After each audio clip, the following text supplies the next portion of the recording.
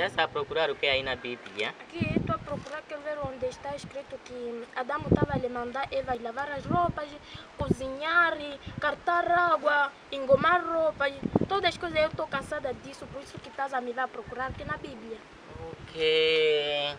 Então, amor, eu estou a te pedir para procurar aí na Bíblia onde está escrito Adão dava dinheiro a Eva para comprar mesa, sapato, vestida assim, chinelo, tá vendo? Cirola, sandália, batom. E eu também estou cansado disso. Eu tive a querer isso, chá.